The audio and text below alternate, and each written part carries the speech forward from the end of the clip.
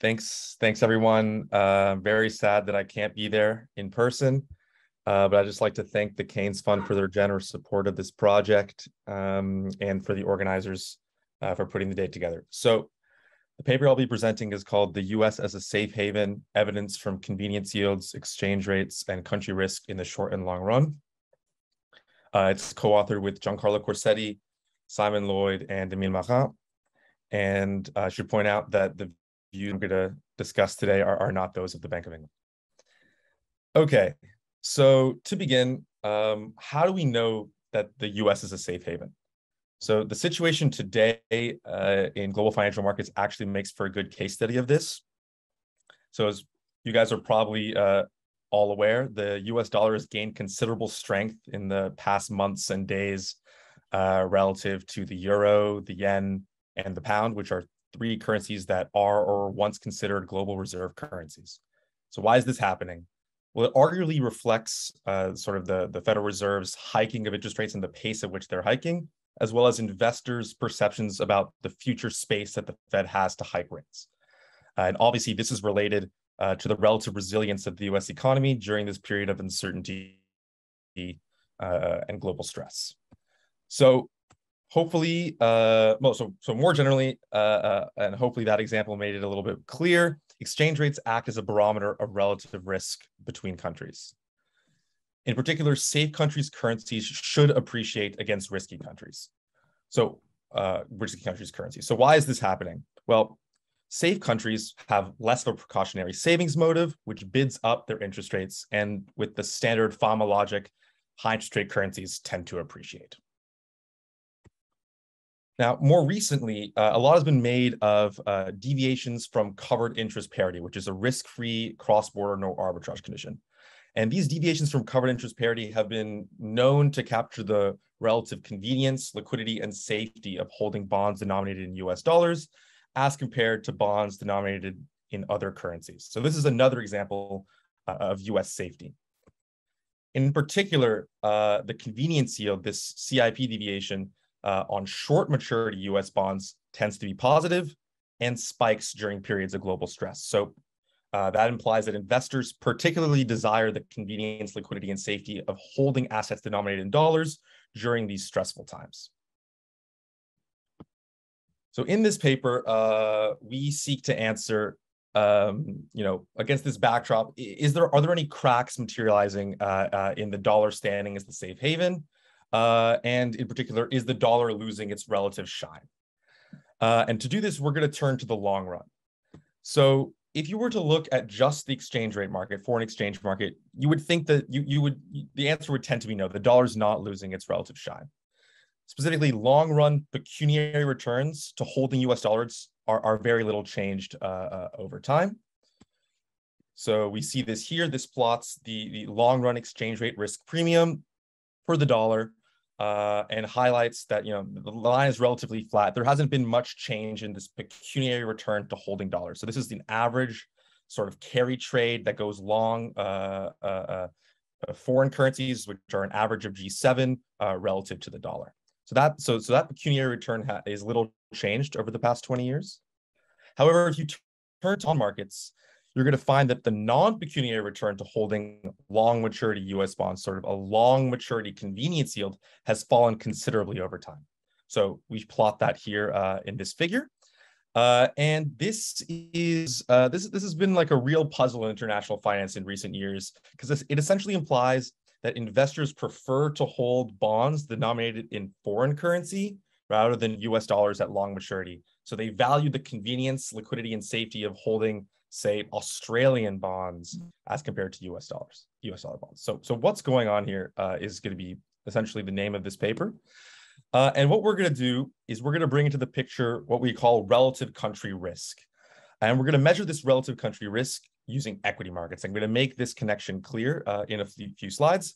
But what we're going to show is that the US equity risk premium has risen considerably over time. And I plot this here relative to uh, uh, the average of G7 currencies.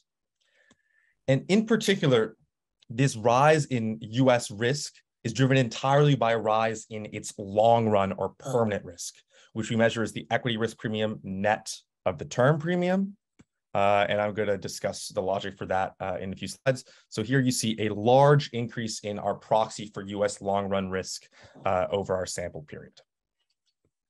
Okay, so um, in sort of search to, in, in, our effort to answer this question, you know, is the US uh, losing its standing as the safe haven? We're going to ask two slightly more specific questions. So those are uh, into which assets and at what maturities is US safety priced? We're going to develop we're going to develop a theory, which is going to be a two-country no arbitrage model, where we're going to make no assumptions about the preferences of investors in order to jointly assess US safety in three internationally interconnected markets: exchange rates, bond markets, and equity markets.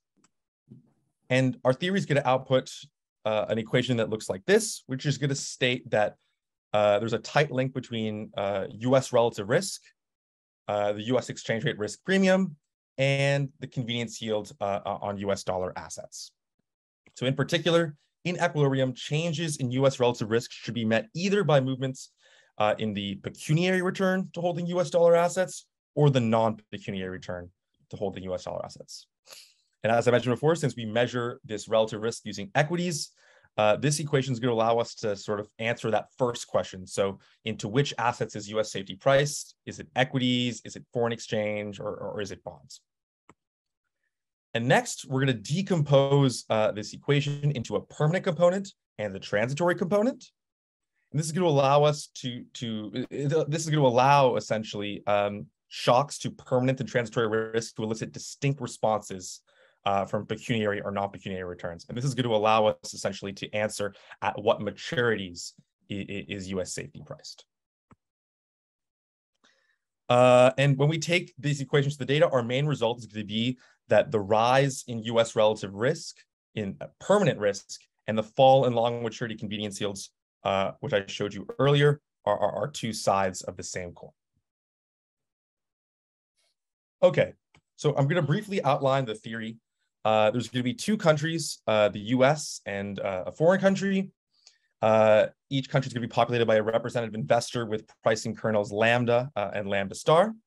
And following Alvarez and Jermann, we're going to decompose these pricing kernels into a permanent component, which is a martingale, and a transitory component, uh, which is sort of the residual.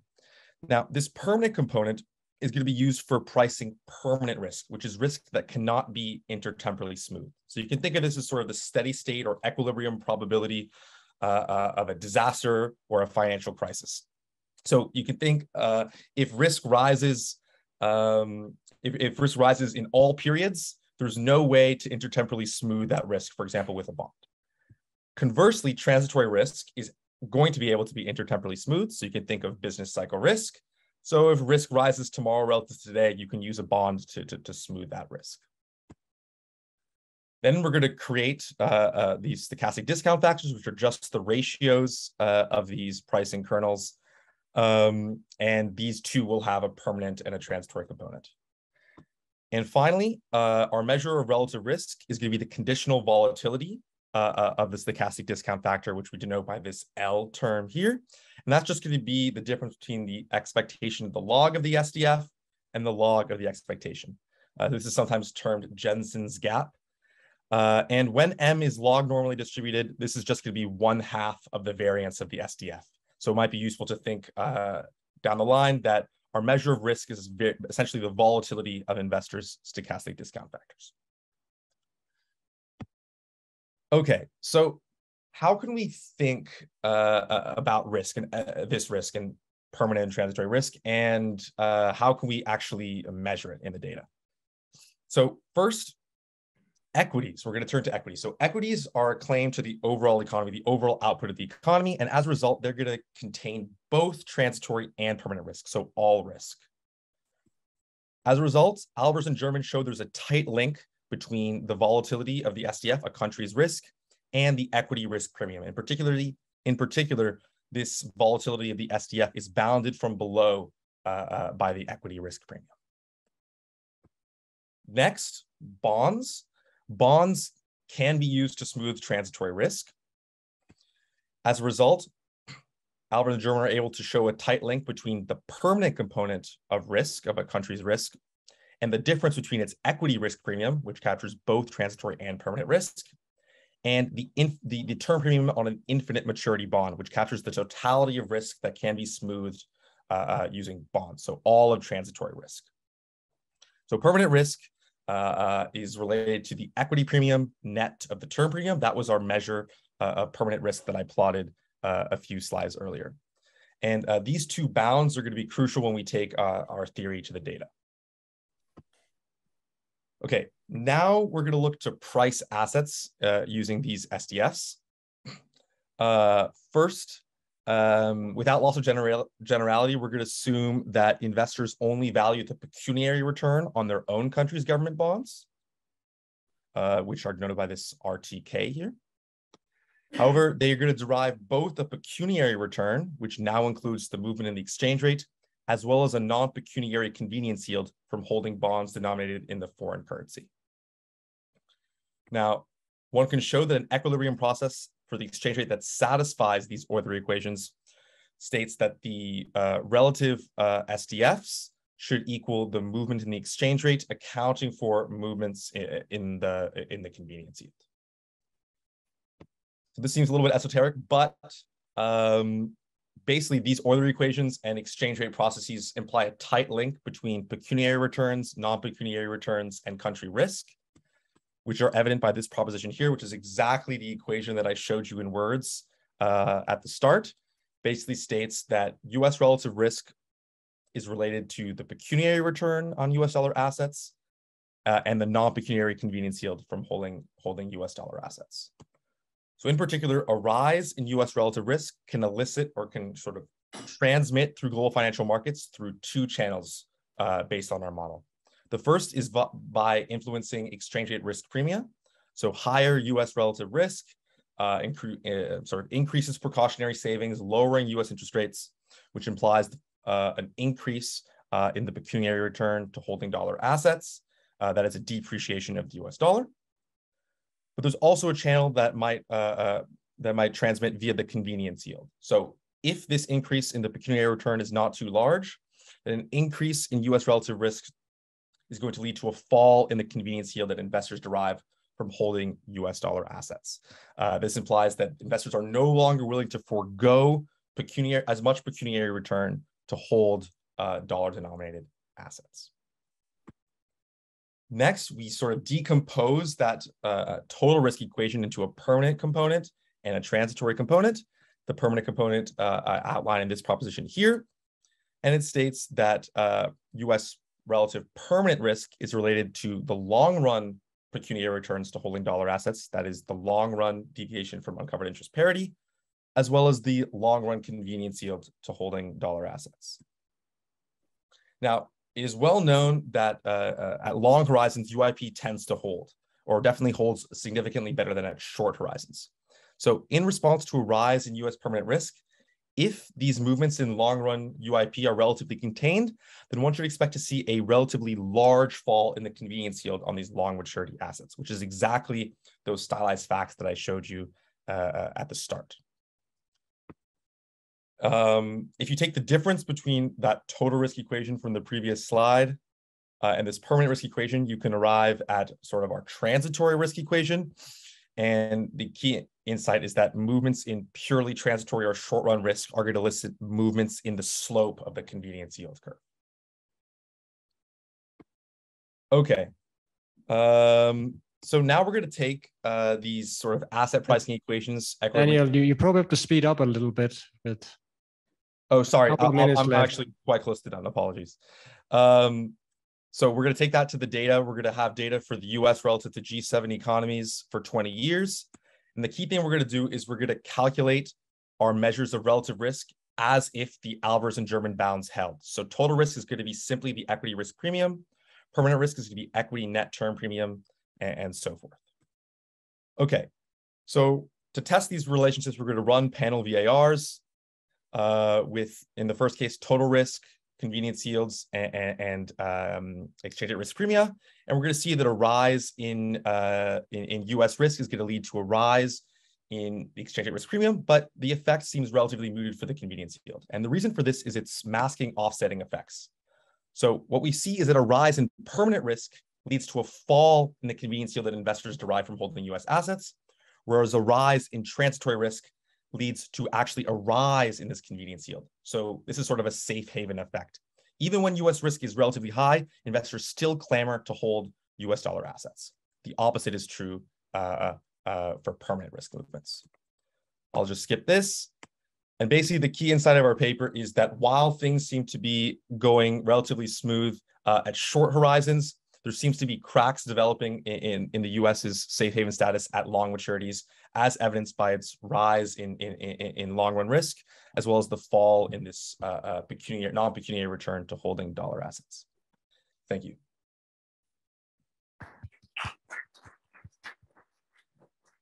Thank you for that. And we, Pedro has a couple of questions. Yeah, sure. Uh, hi, Daniel. Can you hear us? Yes, thank yeah, you. So thank you so much. So I have a couple of uh, questions about the paper. So the first one, if you could just give us some more detail about exactly why the risk of the US has been increasing. Is this linked to well, macro factors or political uncertainty? And uh, furthermore, how should we think between absolute and relative uh, risks, right? I think everyone here will agree that probably things in the US has got, have gotten a little bit crazier in the past five or 10 years, but the rest of the world has been getting crazier as well. So how should we compare absolute and relative uh, risks? And how do these results compare to all that uh, literature that we had before the global fin financial crisis that would talk about the great moderation and things like that. I know that that was more related to the equity risk premium rather than foreign exchange. But if you had something on that, I would love to hear your opinion. Thank you. Uh, thanks very much. Uh, those are indeed very interesting questions. So um, first, why is the US getting riskier? Um, so our, our setup is purposely remaining agnostic at this stage as to why the US is getting riskier. But actually, that question is sort of where this paper is headed. So um, my like personal perspective is this might very well be related to quantitative easing.